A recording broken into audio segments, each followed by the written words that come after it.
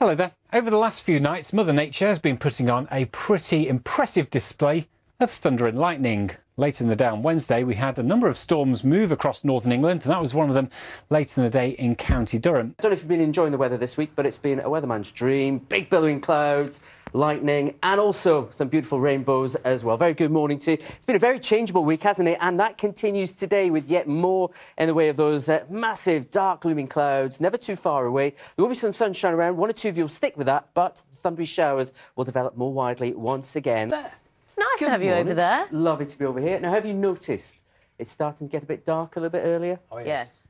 This job, you cannot help but notice it get, getting darker Exactly. in the morning. Well, we're at that time of the year, next few weeks, where we lose daylight at its oh, quickest rate. no, clock's changed. That's cheered changed up for Thursday morning, hasn't it? I'm so glad you're here. yeah, you're welcome. Still getting the lovely sunrises, though, as we've seen here at uh, Hinderwell in North Yorkshire quite recently. Very good morning, too. But just to confirm uh, that uh, the sunset now for most of you is before 8 o'clock. And as I said, uh, we're losing uh, daylight at its quickest rate in Shetland, around uh, 5 minutes, 24, 25 seconds each day. It is getting that bit darker. How's the weather going to be for all those? There are lots of people going back to school today, aren't there? Young people going back. And some, of course, the rain just tied in with the uh, school run. It's going to be another day of shower dodging, in fact. In fact, this morning, very good morning to a few uh, big looming clouds already around. This one is actually a cumulonimbus, a thundercloud captured just a short while ago in uh, Kent. Uh, we've already got some thunderstorms rumbling close to some coasts at the moment. Now, I've really enjoyed all the clouds Yes, this morning. it's been and all brilliant, the- isn't it? Now, was it a cumulus congestion at the very start at six o'clock? That was Cumulus congestus. congestus. Sorry. Congestus, yep. Very similar to these. These are almost on the way. When you see them, you know, those big cauliflower top ones Yes. that look like cauliflowers. They're a sure sign that there are big showers coming your way.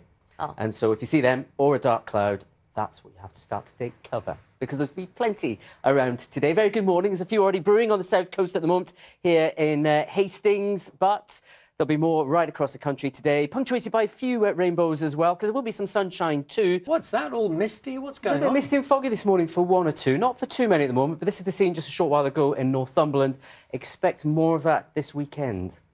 Bit more of an autumn feel in the mornings, at least. Anyway, very good morning to you. Yes, it may be a bit misty for one or two at the moment, but for most, bright enough start. Good morning, Naga. Good morning, all. Did you know uh, this time of year we get to see the after effects of some hurricanes here in the UK? And there's one not a million miles away. It's about a thousand miles away at the moment. This swirl here, Hurricane Danielle, uh, winds around it only around 75 miles an hour. It's a decaying storm, and it's only going to slowly move its way eastwards.